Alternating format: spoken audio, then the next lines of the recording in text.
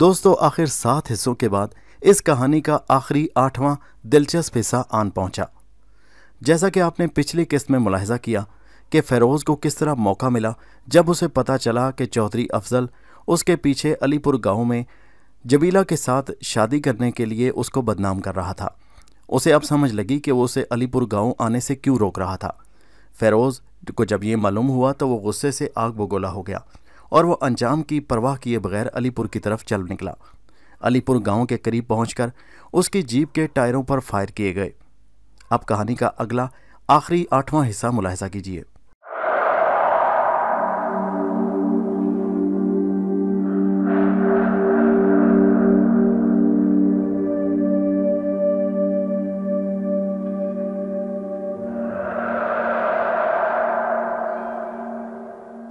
میں تیز رفتاری سے جیپ چلاتا ہوا علی پور کے نواح میں پہنچ چکا تھا کہ اچانک فضا ایک دھماکے سے گونج اٹھی۔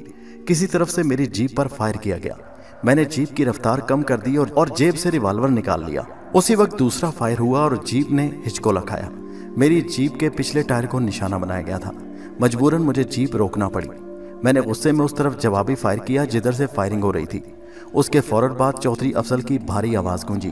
فیروز، تمہارے پاس جو بھی اسلحہ ہے پھینک دو۔ ورنہ تمہارے جسم کو گولیوں سے چھلنی کر دیا جائے گا۔ اپنی بات کے ثبوت میں چودھری افضل کی طرف سے پے در پے کئی فائر ہوئے۔ ایک گولی تو میرے بالکل قریب سے نکل گئی اور میں ساکت رہ گیا۔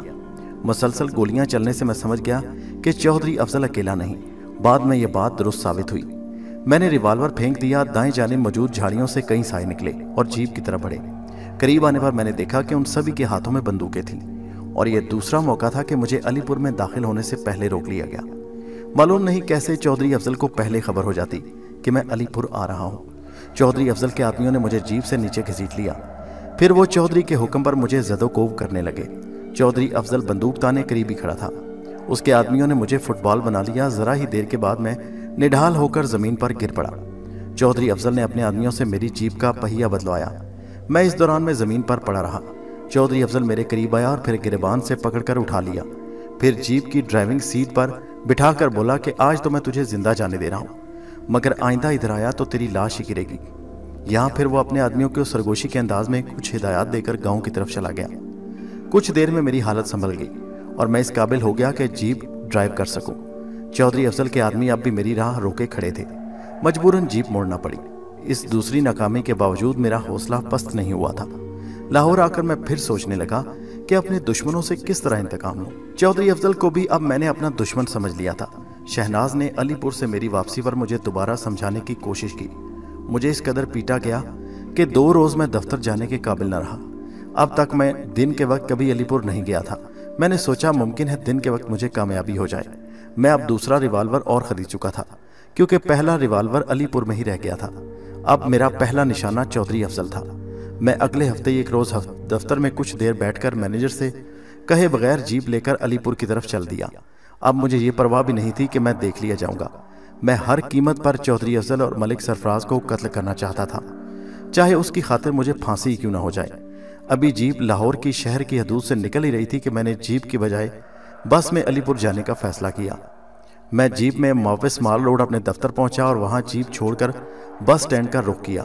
اپنے پروگرام میں یہ تبدیلی میں نے اس لیے کی تھی کہ چودھری افضل یا اس کے آدمی جیپ ہی سے میری آمد کے منتظر ہوتے۔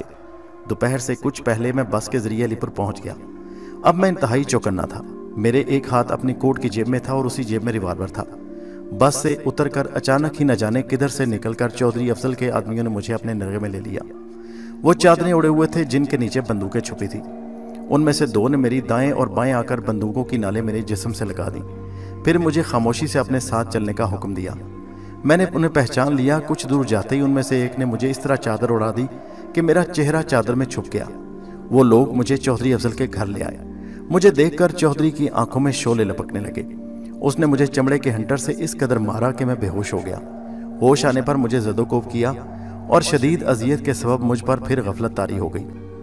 ہوش آنے پر میں نے خود کو اسی نیم تاریخ کوٹلی میں پایا جہاں پہلے بھی دو دن اور ایک رات گزار چکا تھا۔ رات کو کوٹلی کا دروازہ کھلا تو شہناز پر نظر پڑتے میں چونک اٹھا۔ میری حالت ابتر تھی۔ اس رات شہناز مجھے جیپ میں ڈال کر لاہور لے آئی۔ میرے زخم کئی دن میں مندمل ہوئے۔ اس دوران میں شہناز میری تیمارداری کرتی رہی اور سمجھاتی رہی کہ میں علی پور کا رخ کر کے موت کو دعوت نہ دوں۔ اس نے کہا، اب اگر تم بولے سے بھی علی پور چلے گئے تو افضل تمہیں قتل کر دے گا۔ اب تک یہ بات میرے لیے مہمہ بنی ہوئی تھی کہ چودھری افضل کو پہلے سے کس طرح معلوم ہو جاتا ہے۔ کہ میں علی پور آ رہا ہوں۔ میں نے یہ شہناز سے سوال کرنے کے بعد وعدہ کیا کہ اگر مجھے اپنے سوال کا جواب مل جائے گا تو پھر میں کبھی علی پور نہیں جاؤں گا۔ بڑی مشکل سے اور بار بار یقین دہانی کے بعد شہناز نے مجھے بتایا کہ جب تم دفتر سے چلتے ہو تو مینیجر فون کر کے مجھے مطلع کر دیتا ہے اور جب تم گھر نہیں پہنچتے تو فون کر کے افضل کو آگاہ کر دیا جاتا ہے کہ وہ چوکنا ہو جائے۔ پہلی بار کے بارے میں شہناز نے کہا، پہلی مرتبہ فیض نے تمہیں کوٹھی میں نہ پا کر پہلے ہسپتال جا کے دیکھا۔ پھر میرے اماں پر علی پور فون کر دیا۔ یہ تو ممکن ہی نہیں تھا کہ میں اپنی قسمت پر شاکر ہو کر بیٹھ جاتا۔ اس لیے صحت یاب ہوتے ہی کوئی اور نئی راہ سوچنے لگا۔ اور چند ہی روز میں مجھے ایک راہ سوچی گئی۔ اور لاہور میں رہتے ہوئے تو اس کا امکان نہیں تھا کہ میں علی پور کا رخ کرتا۔ اور چودھری افضل کو خبر نہ ہوتی۔ ایسی صورت میں ایک یہی راہ تھی کہ میں لاہور سے فرار ہو جاؤں۔ اور کچھ دن کسی شہر میں روپوش ہو کر اچانک کسی دن موت کا فرشتہ بن کر علی پور پہنچ جاؤں۔ میرے پاس خاصی رقم تھی۔ چند روز تو کیا میں مہینوں کسی شہر میں روپوش ہو سکتا تھا۔ اس منصوبے پر عمل کرنے ہی والا تھا کہ ایسا اندوہناک واقعہ پیش آ گیا جو میرے وہم و گمان میں نہیں تھا۔ ہوا یہ کہ ایک شام جب میں کوٹھی پہنچا تو عمارت ہی کی حدود میں داخل ہوتے ٹھٹک کر رک گیا۔ میں نے شہناز کی تیز آواز سنی۔ وہ کسی سے کہہ رہی تھی، اب اگر تم نے ایک قدم بھی اٹھایا تو میں گولی مار دوں گی۔ شہناز، اب میں مزید صبر نہیں کر سکتا۔ اگر تم میرے ساتھ چلنے پر آمادہ نہیں تو میں اپنی بچی کو یہاں سے لے جاؤں گا۔ تم مجھے نہیں روک سکتی، یہ میرا خون ہے۔ یہ آواز شہناز کے ملازم فیض کی تھی، جسے سن کر میں جیسے پتھر کا ہو گیا۔ میرے لیے یہ انکشاف ناقابل یقین حد تک حیران کن تھا کہ اس بچی کا باپ فیض تھا، جس نے شہناز کی کوک سے جنم لیا تھا۔ تو پاگل ہو گیا ہے فیض، یہ کسی طرح ممکن نہیں کہ میں تیرے ساتھ فرار ہو کر کسی اور شہر میں اثر نو زندگی شروع کروں۔ یہ میری بچی ہے، مجھے دے دے، ورنہ میں تیرا خون کر دوں گی۔ شہناز کی آواز پھر ابری تو پھر کر دے خون، چلا دے گولی، لے دیکھ میں جا رہا ہوں، لے کر اسے۔ فیض کے الفاظ بھی پورے نہیں ہوئے تھے کہ ایک دھماکہ ہوا۔ اسی کے شاہ شہناز کی چیخ سنائی دی۔ میری بچی، ظالم تو نے میری ہی ہاتھوں میری بچی کو قتل کرا دیا۔ میں تجھے بھون ڈالوں گی۔ پھر یکے بعد دیگرے دو فائر ہوئے۔ خون خون، ملازمہ کی چیخیں سنی یہ میں نے کیا کیا؟ کیا کر دیا؟ شہناز چیخنے لگی، اس کے ساتھ ایک اور دھماکے نے میرے ہوش و حواس اڑا دیے۔ کہیں شہناز نے خود کو گولی تو نہیں مار لی، میں نے سوچا، اور بھاگتا ہوا گھر میں داخل ہوا۔ اندر ایک ہولناک منظر میرا منتظر تھا، میرا قیاس درست ثابت ہوا۔ شہناز نے اپنی بچی اور فیض کو گولی مارنے کے بعد خودکشی کر لی۔ وہاں تین لاشیں خون میں لت پت پڑی تھی اور ملازمہ دہشت سے بے ہوش ہو گئی۔ گولیاں چلنے کی آواز سن کر چوکیدار اندر دوڑتا آیا، اور پھر اس نے پولیس کو فون کر دیا۔ پولیس کی آمد تک میں نے کسی چیز کو ہاتھ نہیں لگایا۔ ملازمہ اب تک بے ہوش تھی۔ چوکیدار نے بیان دیا تھا کہ جب وہ اندر پہنچا تو اس نے تین لاشیں دیکھی اور اسے میں وہاں نظر آیا۔ فوری طور پر پولیس نے مجھے حراست میں لے لیا۔ میں حوالات میں بند تھا کہ رات نو بجے کے قریب چودھری افضل تھانے پہنچ گیا۔ اسے چوکیدار نے فون پر اس واقعہ کی خبر دی۔ اب تک پولیس نے میرا بیان لینے کی زحمت گوارا نہیں کی۔ پیسے میں کتنی طاقت ہوتی ہے یہ پہلی بار مجھے اندازہ ہوا۔ کیس کا رخ بدل دیا گیا، جس میں ملازمہ کا بیان کلیدی حیثیت کا حامل تھا۔ کیس یہ بنایا گیا کہ شہناز کا ملازم فیض اس کی بچی کو اغوا کر کے لے جا رہا تھا کہ شہناز نے اسے روکا۔ جب وہ نہ رکا تو مجبوراً شہناز کو گولی چلانا پڑی۔ پہلی گولی بچی کو لگی۔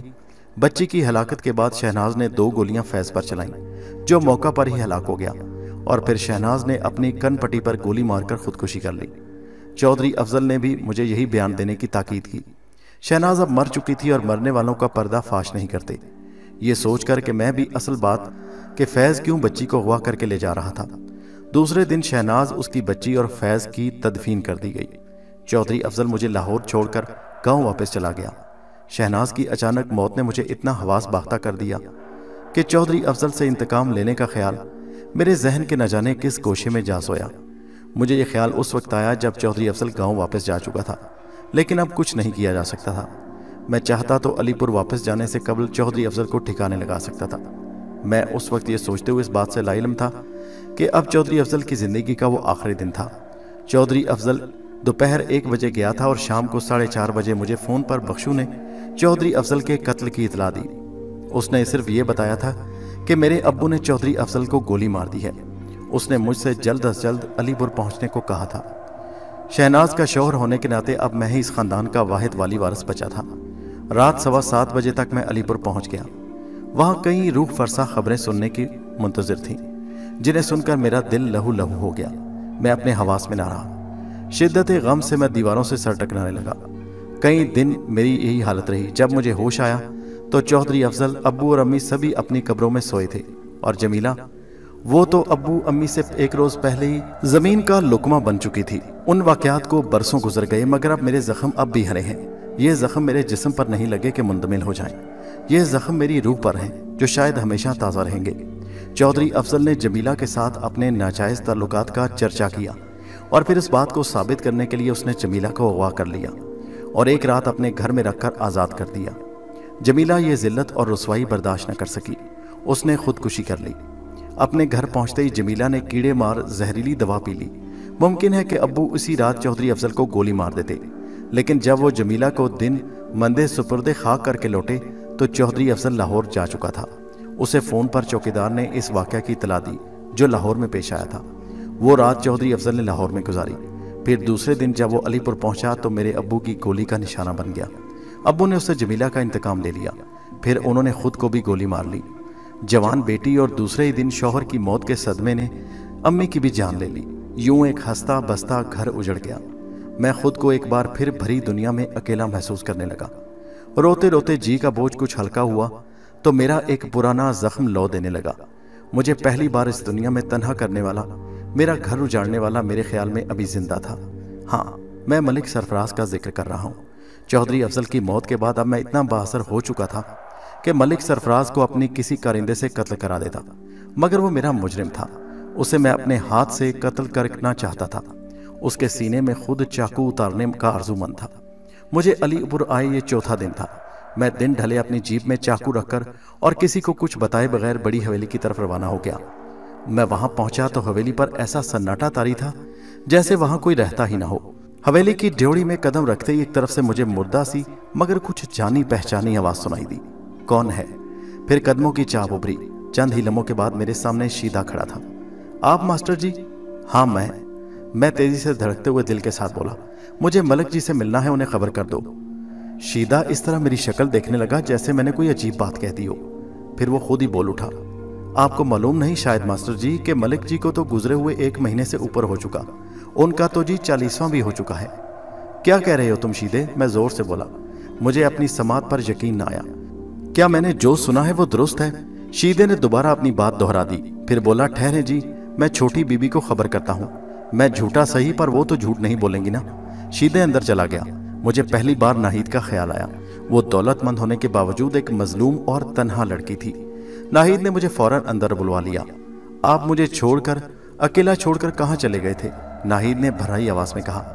اب تمہیں تنہا چھوڑ کر کبھی اور کہیں نہیں جاؤں گا۔ یہ کہتے ہوئے میں نے جذبات میں آ کر پہلی بار اس کا ہاتھ تھام لیا۔ اس کے بعد اپنے سینے کا سارا بوجھ ہلکا کر دیا۔ میں نے اول آخر سے اپنے بارے میں سب کچھ بتا دیا۔ ناہید کو اب یہ بھی معلوم ہو چکا تھا کہ ملک اس کی ماں پر تشدد کیوں کرتا تھا۔ دکھ بھری یادوں کا غبار چھٹا تو ناہید نے مجھے بتایا کہ ملک سرفراز سسک سسک کر مرا تھا۔ اس پر فالج گرا تھا اور پھر چلنے پھرنے سے محتاج ہو گیا۔ یہاں تک کہ خود اٹھ کر بھی نہیں بیٹھ سکتا تھا۔ وہ اپنی موت کی دعائیں مانگتا تھا مگر موت اسے قبول نہیں کرتی تھی۔ پندرہ دن سے زیادہ تو اس پر جان کنی کا عالم تاری رہا۔ پھر کہیں جا کر اس نے دم دیا۔ قدرت کو شاید یہی منظور تھا کہ میرے دامن پر لہو کا کوئی داغ نہ لگے۔ شاید اسی وجہ سے نہ اکبر میرے ہاتھوں مارا گیا، نہ چودھری افضل اور نہ ہی ملک سرفراز کو قتل کر سکا۔ قدرت نے خود میرے دشمنوں کو میرے راستے سے ہٹا دیا، ان سے میرا انتقام لے لیا تھا۔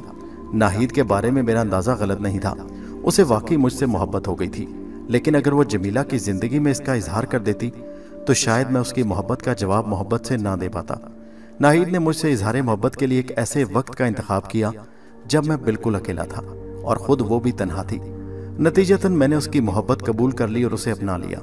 اس روز علی پور میں عید کا سما تھا جب ناہید سے میری شادی ہوئی۔ اب میں ہی علی پور کا سب سے بڑا زمیندار ہوں۔ ابو کی زمینوں، چودھری افضل کی تمام زمین اور جائیداد اور ملک سرفراز کی ساری اراضی کا میں اکیلا وارث اور مختار کل ہوں۔ ہر چند کہ اب مجھے دنیا کا ہر سکھ میسر ہے۔